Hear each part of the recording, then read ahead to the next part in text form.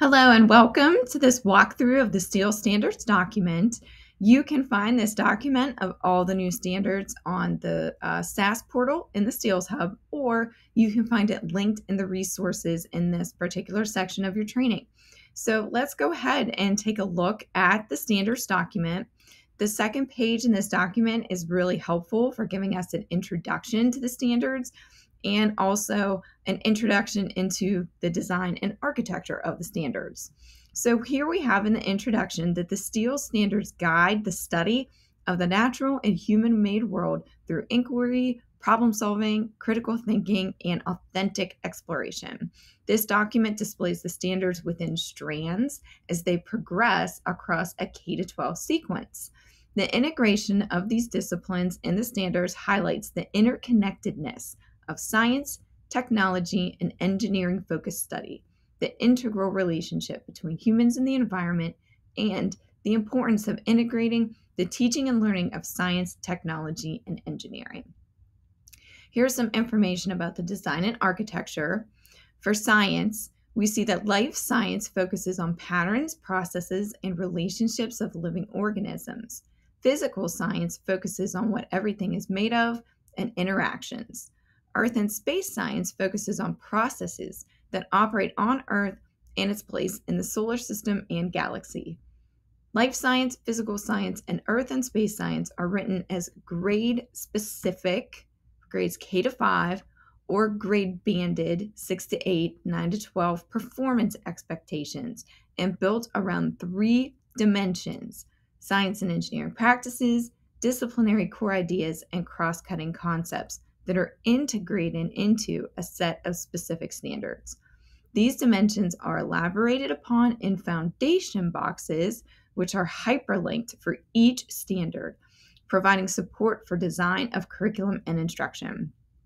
Then we have technology and engineering standards that focuses on the interactions among technology, engineering, society, the environment, and other disciplines with a goal of developing individuals that can create, utilize, and assess current and emerging technologies. These standards are written as grade banded performance expectations built around technology and engineering strands, practices, and contexts, and are integrated in a set of specific standards. These components are elaborated upon in foundation boxes, which are also hyperlinked for each standard, providing support for design of curriculum and instruction. And then finally, we have environmental literacy and sustainability standards. And these standards focus on practices, ecological processes, and systems that comprise the environment, including human social systems and influences. The standards are written as grade banded performance expectations and are built around three dimensions science and engineering practices, disciplinary core ideas, and cross cutting concepts integrated into a set of specific standards. Sustainability is the balanced use of the natural and renewable resources. Sustainable practices seek to ensure the integrity of ecological function and species diversity with consideration for environmental justice, equity, and economic stability for current and future generations. These dimensions are elaborated upon in foundation boxes, again, hyperlinked for each standard, providing support for design of curriculum and instruction. So, some of the big takeaways that I'm seeing from this this introductory document here are that one, we have standards that are written as performance expectations. So, you might see the standard standards, or you might see them referenced as performance expectations. They are interchangeable and they mean the same thing.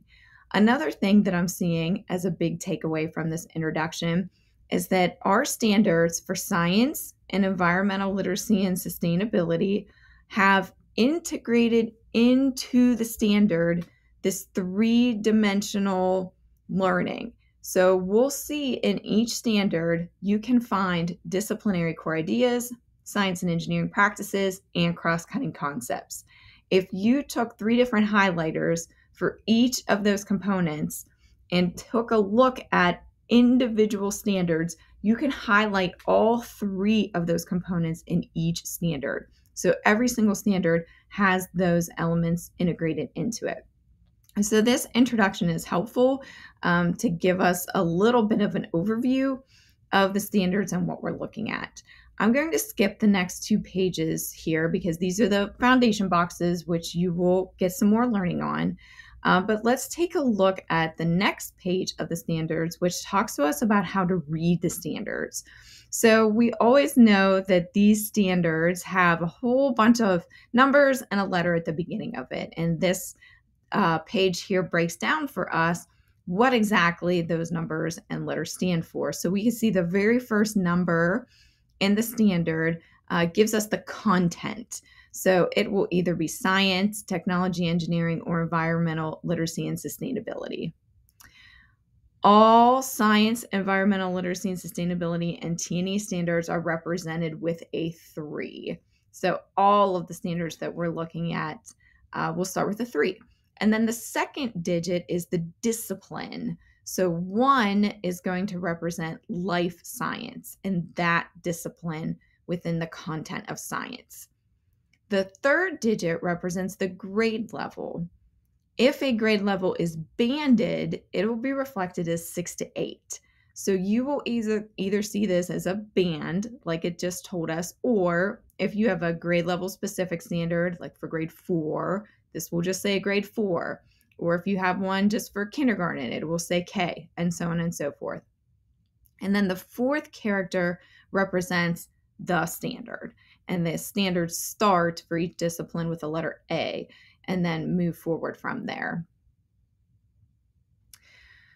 The engineering, technology, and applications of science. Although embedded in the T&E standards, these standards below for grades 6 to 8 and 9 through 12 are applicable across all science, environmental literacy, sustainability, and T&E content areas. So these standards uh, specifically are applicable across all of those different content areas. The next page in this document, um, which this document is hyperlinked, so if there's anything specific you want to look at, you can just click right to it.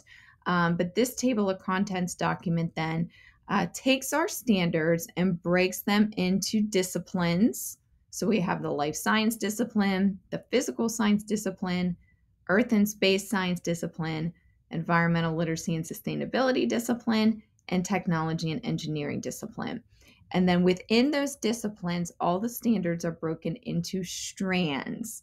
So I'm not going to read them all, but you can see that, you know, under the life science discipline, there's the strand of structure and function, the strand of growth and development of organisms then in Earth and Space Science discipline, we have the strand of Earth materials and systems, the strand of weather and climate, and so on and so forth. So this is how our standards are organized. So if I go ahead and click to anything in here, let's go to wave properties. So I can click right to that section um, and it's going to show me, like the introduction in the document told us, a progression of this strand across kindergarten through 12th grade for students. And we can see that in kindergarten, it's blank, but in first grade, that's whenever we first start to see that this strand of wave properties um, should be introduced to students. So we have that standard listed there. We see that the standard, um, that this strand of the standard is built on in fourth grade and then in the grade band 6 to 8 and the grade band 9 through 12. So we see that progression across K to 12.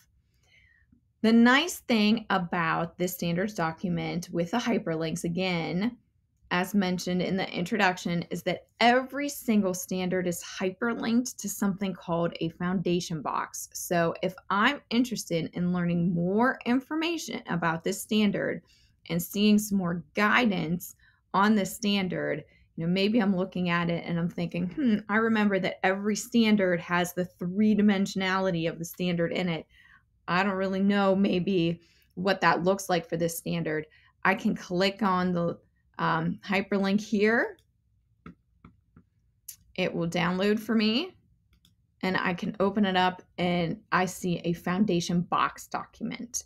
You're going to learn more about this foundation box document in the next section of this training. Uh, but this document in general just provides more guidance on instruction whenever I'm looking at this particular standard. So, like I said, you'll learn more about this in this training, but that document is provided for every single standard. Um, so I can use this standards document here to become familiar with, you know, the discipline of science that I might teach um, and what the progression of the standards looks like across grade levels. You know, if I'm a, a eighth grade physical science teacher, you know, of course, maybe I'm just going to be concerned at first with, yeah, this eighth grade, this six to eight band but now I might be asking questions that are like, well, this is a, a band. So what might it look like in a middle school for a sixth, seventh, and eighth grade teacher? And what what might they be teaching? So those are some conversations that you might have uh, whenever you're looking at the standards and, and looking at all of the different um, content that you need to cover. So, that is a brief introduction into the standards document. Uh, take some time to, to look through it, um, to look at the standards that are in your content area and in your grade level. Um, spend some time in looking at how that standard progresses K to 12 for the strands um, that are here for each of the disciplines. So, thank you for listening and um, enjoy looking through this standards document.